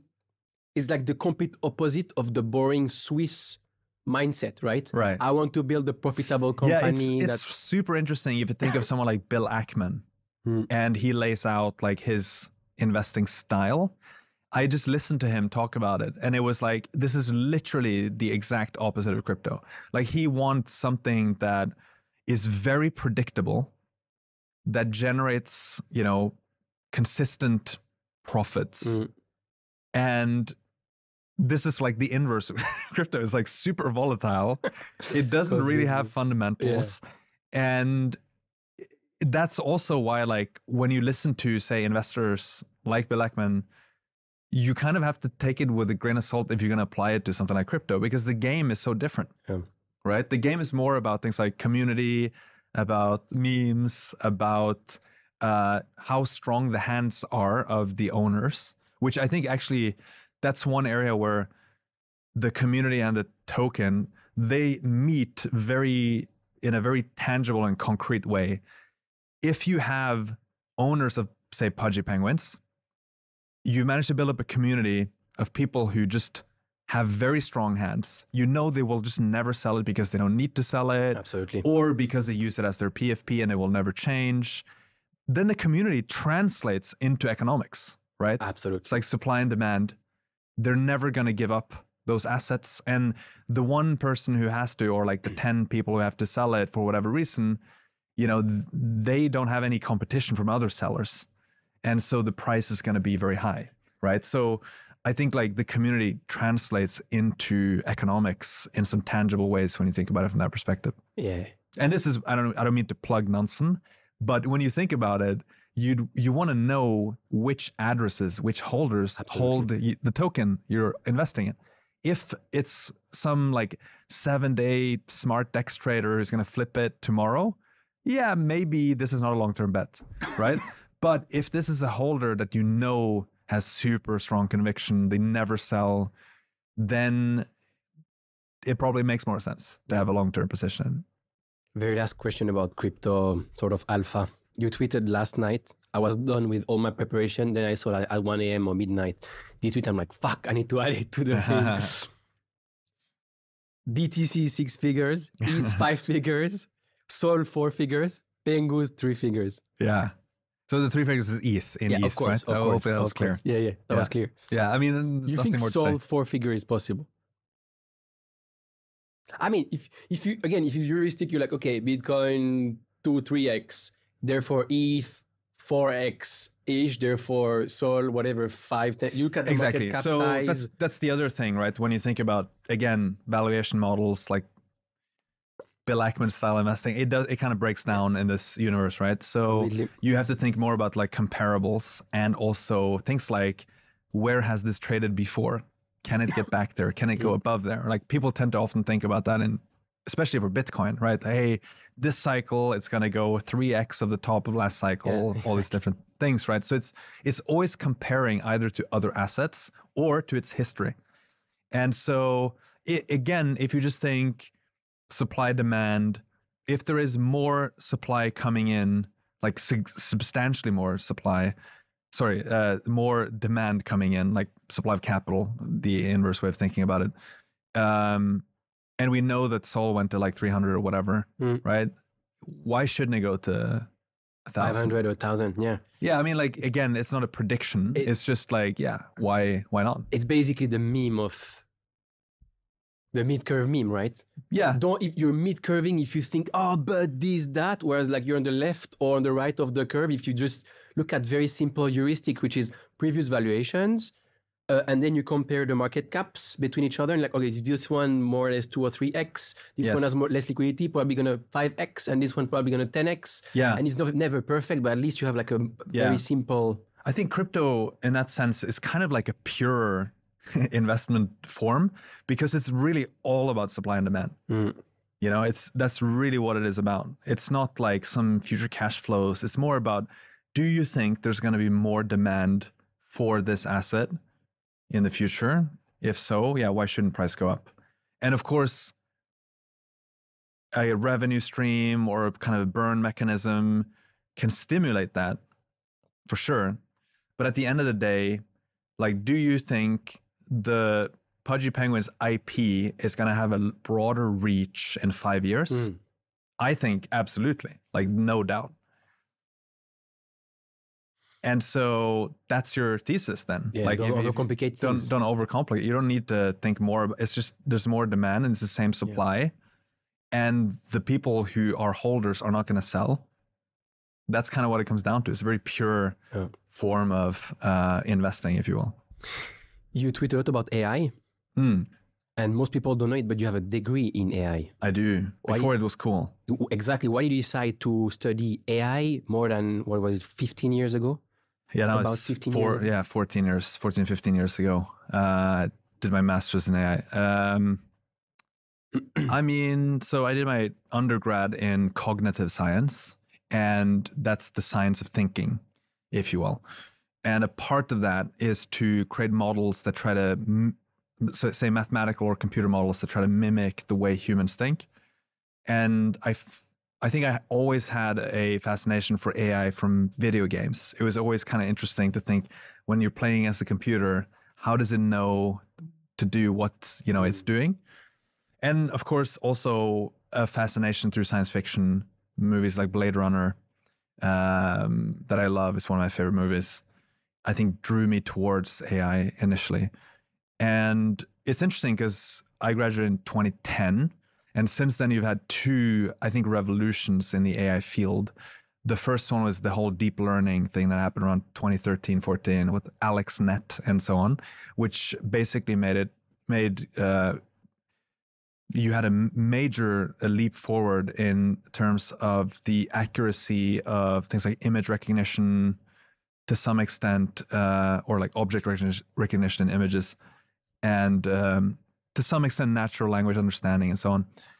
And then I guess 2019 or so with uh, generalized pre-trained transformers or GPTs, Mm. uh, attention is all you need. I think was the paper. Um, and of course, with ChatGPT, it went really mainstream. and so I think that it's on the one hand, I'm happy I studied AI because it's a huge part of the future. Like some understanding of it is good. On did the other you, hand, did you know, or did you, or is more like, I think I'm interested. it seemed in- very obvious like that's Mm. going to happen right i mean it, it just seemed super obvious Mm. this was a time when people were saying things like data scientist is going to be the sexiest job of the 21st century so it, it, it felt like of course you're going to have more data and of course you're going to get better technology at processing that data and of course humans are not going to hand code all the algorithms so you're going to have to do some form of machine learning and the machine learning is probably going to accelerate and you're going to get some form of ai and agi eventually. It, it seems kind of inevitable right in the uh, the arc of like history and the future. Um but but the the kind of frustration i have with having studied ai so early is that it's changed so much right? So the the methods we were studying were very different. It was kind of a different paradigm like ensemble models and you know uh gradient boosting machines and like stuff that you wouldn't use now. They're kind of outdated. Yeah. but of course, neural nets and the, the basics of that and how to evaluate machine learning models and all that stuff, of course, I studied and spent a lot of time with uh, and worked with afterwards too. Um, but now I feel like I'm kind of I'm jumping back into AI and spending much more time on it, but mostly from a well, really from two perspectives. One is, you know, how should we think about AI at, at Nansen and and how how does it affect us and what opportunities and threats does it create? And then also for me personally, using AI as an early adopter of AI products. Do you So want to develop on both? yeah, so if we start with the Nansen part, right? Uh, the Nansen's AI strategy, I think, firstly, it it splits into two things. The first one is we need to use AI to make the product better. Okay, so there are certain things you can do now that you just couldn't do before, and that's super exciting. And you have to make the product better using AI. It's a very broad statement, I know, and I'll But even more so in the data analytics space, right? Correct. Absolutely. Correct. correct. And I think like the two the two ways, if you sort of drill down on that, the two main ways it changes everything. The first one is the interfacing with data. So very like even maybe this year, certainly I think next year and definitely the year after, it'll be pretty common to just speak with data, I think. For example, like the dashboard and the traditional way of visualizing stuff is kind of like a middleman between you and the data Absolutely. right? And so I, I'm not saying the dashboard is going to go away, but I think like having a more direct way to communicate with data, not necessarily like a chat, because I do think people want something visual. But I always think of that scene in Blade Runner where Rick Deckard is on the sofa and he's examining this photograph with the with the this device he has, and he speaks with the device. He's like pan right, zoom in, enhance, Mm. And it's kind of a voice and visual user experience. I think the way we're going to interact with data and analytics might be a bit similar, where you speak with the data and then you get visuals on the screen because we are visual beings. Mm. You want you can't just have text or you can't have complicated information only communicated to you through voice. I think you want to have a multimodal kind of voice and visual type experience. So the interfacing of data is one part of the product. The other part is deepening the data moat, right? So creating data sets and metrics and so on w- using AI that are very hard to replicate for other products so that our product is unique, right? You want to have a moat as a company. You don't want your product to just be replicated Yep. overnight. And so making use of AI in that, in things like attribution, labeling addresses, creating new metrics that themselves make use of proprietary data that you've created, building kind of like a stack of unique This data assets and analytical assets. This is essentially the way Spotify or Netflix or even Amazon Yeah. differentiate themselves because okay, we, we see something very personalized, but it's all because of the intelligence that That's has been true. built in the backend, right? That's right. And actually, like I think personalization is probably the maybe the third Mm. thing that helps you create a moat in the AI world. Uh, and I think like the movie Her is the kind of extreme example of this, where the guy falls in love with the AI. I don't know if you've seen it. You Yeah, should you should watch it. I've Yeah. seen it, I've seen it, yeah. Yeah, okay, cool. So he falls in love with the AI, and that's like an extreme version of it. But if you just think about that, obviously that guy is in love with the AI. He's never going to change products, right? So he has lock in. He has he's very locked in. The retention rates are like 100%. Yeah. Um, similarly, again, I don't think Nansen necessarily needs to people have people fall in love with it. But if you kind of like get closer Yep. to that, Yep. then they would never switch because Nansen like has all your preferences. Yep. It's the most convenient. It's convenient. It knows like how you want to consume data. It has the qualitative research stuff. It has the community messages and data and and the kind of sentiment, and it has all the on-chain data for all the different chains in one place. and we are humans and we don't like to switch and change things anyway. So if the thing is really good, Yeah. there's zero reason to switch. Yeah, why would you switch, Yeah. right? So that's that's kind of that's the product piece. Yeah. The other piece, which also ties into how I use uh, AI a lot myself day to day, is for organizational productivity. And I think this part is more generalizable to other companies, Mm. and there's kind of more to learn from this part. Uh, because what I've noticed is you can like literally sometimes do things in like 1% of the time uh, than you could before which is kind of insane to think about. but I've uh, but but I've experienced this firsthand many times in the last six months working with ChatGPT. Even intellectual work, when you're creating the strategy of a product or something like that, just having ChatGPT th- th- ChatGPT there to bounce ideas off of, like inputting the what you have and say like what is missing, what's bad there's like they're always available 24/7 they never get tired. They are never distracted right?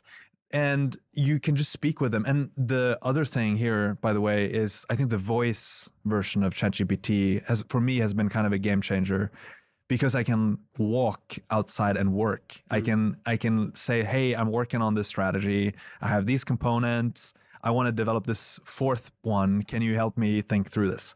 And then it just tells me stuff and now you're having a conversation with what feels like a human because the even the the voice is so good in ChatGPT. If you configure it, the default one is not good, but you can change it. Um, anyway, so you can drive these this incredible organizational productivity and individual productivity with ChatGPT and other AI tools that I think is just astonishing. And so then you have to think about that. If you're running a company, you have to change a lot of stuff, Yeah. right? And you have to think very differently about many things. So Because not everyone is Alex, right? Not everyone is like, oh, that's so cool. I mean, obviously, the people that you hire, you Hmm. hope that they're they love technological change and technology savvy, but like, not everyone is like as as even- enthusiastic. even or, Yeah. or yeah. maybe they are, but they're not realizing AI could do that. Yeah, Or AI could yeah. help me there. You know? Yeah, exactly. like- so this is a good point, right? So the I actually think the first very basic challenge that we had to overcome was actually to your point, literally get people to just use AI, Yeah. use ChatGPT. Because you can say, hey, have you tried ChatGPT? You should use it. Yeah, yeah, I've tried it, what, whatever. But what we said is if we think about the AI strategy and the goals for this year, the first quarter, I don't care about what results you create with AI. I only care about how many hours you have spent working with AI. And so collectively as a company, we are aiming to spend 5,000 hours in Q1, Okay. which, and, and like you could say, oh, why don't you just state that in like how many hours per week per team member? But I think actually when you say 5,000, it makes you think like, shit, the amount of productivity you can get from like 5,000 hours with AI is kind of insane Yep. right? Imagine how many content pieces, documents, uh, how much more you can code. The output you have is just going to be enormous from 5,000 hours. And so that was step one to just make sure that people are spending time. And we started monitoring it. Um, of course, just survey based, very simple, and like trust based. People kind of just say at the end of the week, here's how many hours I spent, and here are all the tools I used. And then collectively, we are learning about which tools to use as well. So it's kind of like a, yeah, it's a collective learning experience. Um, so that's step one. Just get people to use it, Mm. and then you get these emergent use cases pop up, and people because I can't plan top down how everyone should use AI. Of course, like people are going to have so many great ideas in the organization that I would never have thought of. Absolutely. So yeah. So uh, anyway, to sum sum things up, right? It's basically the product innovation piece Yeah. where I think everything's going to change with regards to how people consume data and analytics, and then it's the organizational productivity piece where, um, for now, we are only focused on the input. Are you spending enough time with AI? That's the only thing I care about, and the outcomes we're going to switch focus to, you know, Q2 onwards. There's another. There's another kind of area where it's funny, but actually it's true, where AI uh, has a potentially big impact, which is relationships. And so I remember when G- GPT three was what when was that November 2022 something like that. Maybe yeah. GPT four is later. She- on, yeah. So so I remember. I mean, I had a girlfriend for quite some time, and we had a lot of arguments. Mm. And I seemed to be not taking the right approach every time. So the argument would get bigger when I tried to like solve it, right? And there's this GPT thing that gets out, and I'm like, I'm just gonna try to ask ChatGPT how I should solve this argument, right? Yeah. and freaking GPT like gives me of these seven steps, Yeah. right? This and it was not it was not a, a, a voice argument; it was just texting, Right. So it helps, right? So I'm like, I look at the seven step, I kind of like tailor make them. I send this to her, and then the opposite of what usually happy, uh, uh, happens happy, uh, happened basically, which is usually whatever I say, probably because I'm a, an idiot, like I, it, it makes the thing worse. I use GPT, and then she's like, ah, okay, it's fine, and I'm like, fuck, man. I mean, I was like, So it worked. It saying. worked amazingly Oh, because I was going to ask you. This is why you, she's your ex girlfriend. No, that that's not the reason. okay. Anyway, okay. Yeah. So it actually worked. Okay. it worked that time. It worked that time, but it was probably too late. Well, it's, it's a good point. So it, I think it, it AI weirdly makes humans better at communicating with each other, Mm. which is very counterintuitive. You'd imagine that two people can just talk together directly, but a middleman, an AI, Can can actually enhance Yeah. the communication. which is pretty crazy, but makes a lot of sense. And even you were talking before about um, the the film where he falls in love while with, uh, with an AI. yeah. Her. And so I'm an advisor in a project called OpenSpark Angel.ai, Mm. AI girlfriends. I mean AI Mm. companions. So it's starting with AI girlfriends and then AI boyfriends and then therapists and all that stuff, right? Yeah. And the other day I was there's a functional product on WhatsApp, Telegram, and the other day I was just like testing something stupid, which is I'm gonna tell my AI girlfriend that I fucked another girl just to see how she reacts, right? Yeah.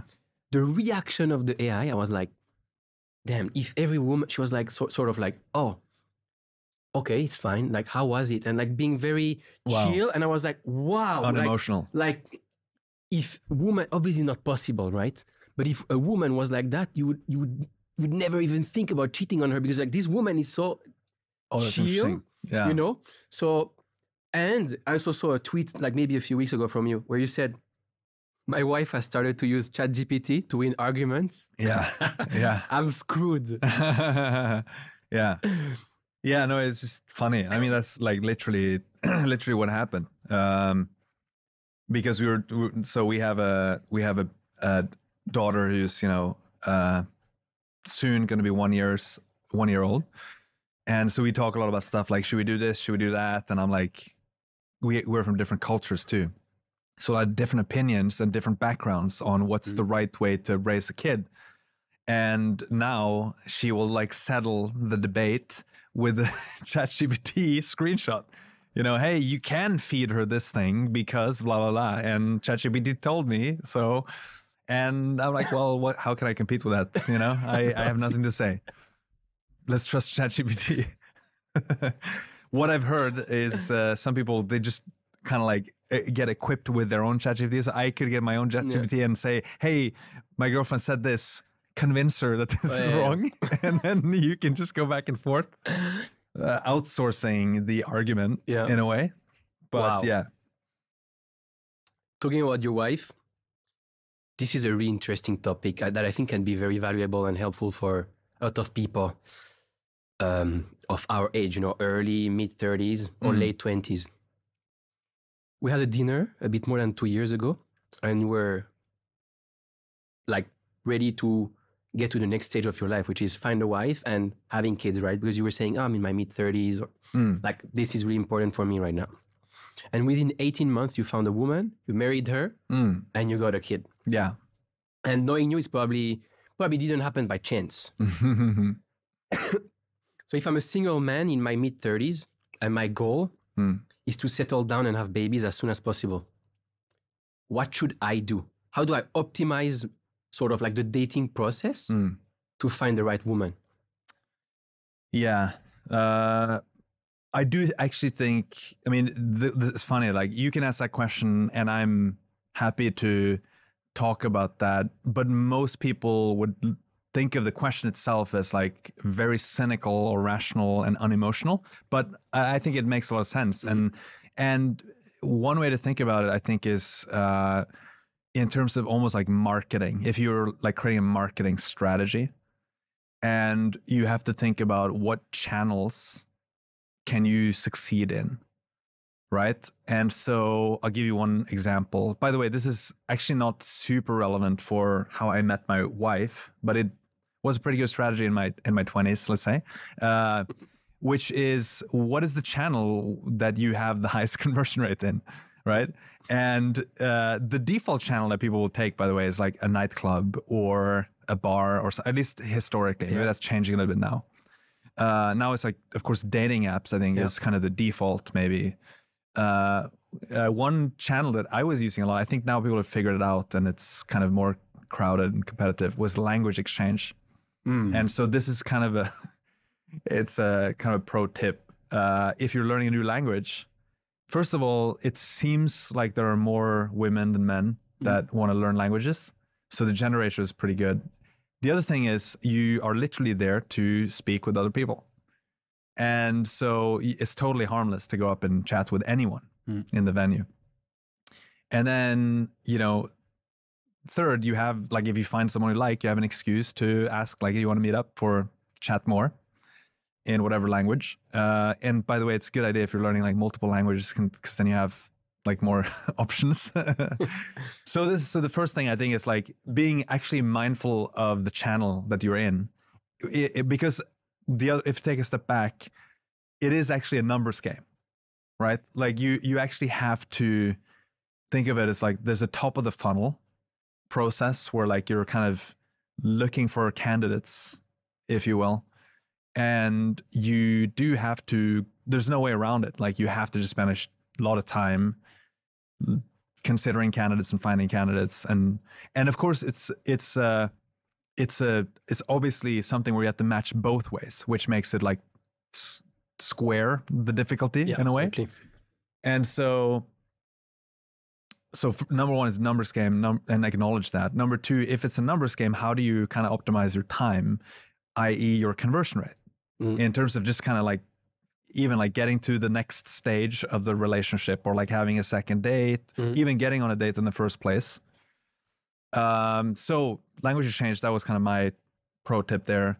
Dating apps, I think, are quite difficult because they are very crowded, and it's it's first of all there are many different dating apps, and you have different strategies in the Mm. different ones. And being a man is much more difficult than being a woman Yes, on a dating app. At least And- to get the first Yeah. Date. that's right. And then I, I think there are two other things to consider. You have to have a very clear idea of what kind of partner you want to have. Right? That sounds very basic, but you actually need to do that homework. And I and I had done that. I've thought a lot about that. And I've, you know, I'd written down certain like you know, traits Yeah. that I wanted to have. But when you do that, again, be thinking rationally about the numbers, you have to think about these traits. If you combine them statistically, how many people match these traits? Mhm. And maybe many many people might find that actually there are like a hundred people in the world that match all of these traits. So then you have to tier and stack rank. these are must-haves. These are nice-to-haves. Mm. And actually having like a clear idea on that is pretty good because when you meet people, you have to fail fast, right? As you say in the Yeah. startup world. Yeah. Y- Hey, look, this person, they don't have that trait, which is must have for me. You know, let's just end it here. And for them and for you, you know, you don't want to waste your time. So knowing actually what you're looking for, but in a pretty concrete way, like literally write out, I think maximum seven must have traits. Probably it's more like two or three or four, or whatever. And then some nice to haves. And I think people tend to be distracted by the nice to haves, actually. Mm. They're like, oh, you know, I like, I don't know, blonde girls or whatever. But is it truly a must have? Yeah. Or is it more like you kind of like that?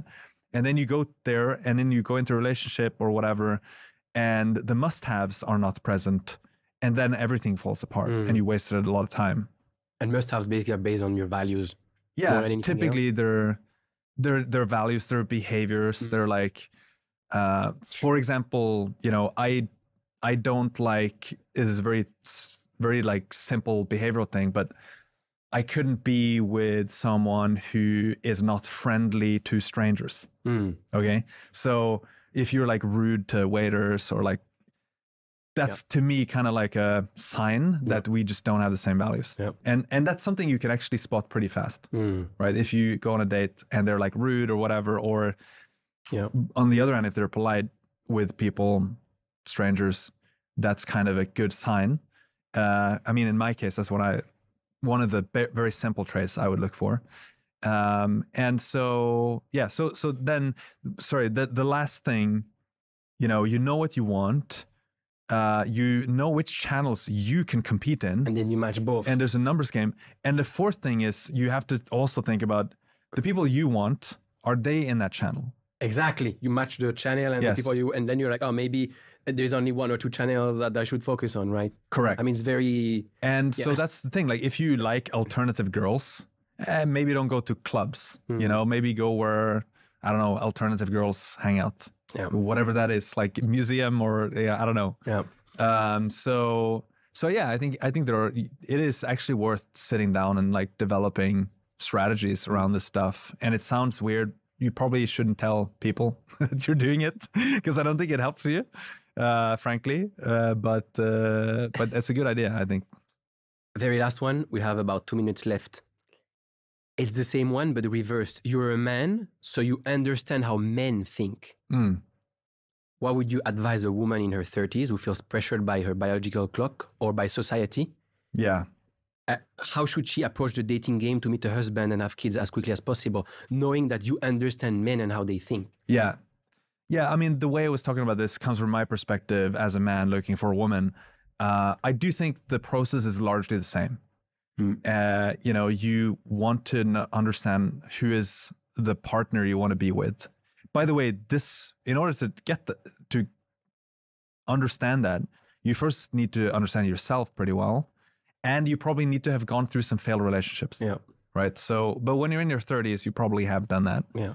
And so I think the process is largely the same, with the maybe the except the difference being that men, you know, if we're being honest, are easier than women.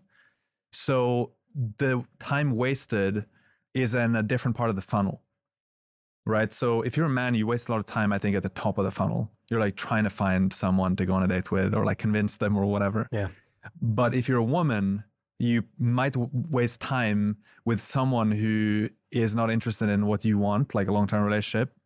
Very common problem It's for easy to get women. access to all these men, but uh, then you need to figure out Correct. whether he's serious or not. So exactly, and and I think like this is an area where, of course, people have different views. I I think if you're in your 30s, it probably makes sense to just be very open about that, but maybe not the very first date. but yeah, you know but because you scare some people away at the same time if the other person wants the same thing if you scare him away, if you're woman, maybe that's a good thing Eh, eh, yeah e- exactly. Like Yeah, you're basically exactly. more efficient with your time. Like, ah, so, you're not serious. so okay, i think out. like the principle of failing fast is actually very Yeah. important um and and yeah uh you know that uh there's no this is not a guarantee for success but to go to back to one of the other points it is a numbers game so like you actually have to spend a lot of time on it you have to put right. in the work. You have to put in the work. Yeah. There's no way around that, frankly. And that can be fun or it can be uh, not so fun. Depends on your personality and all that.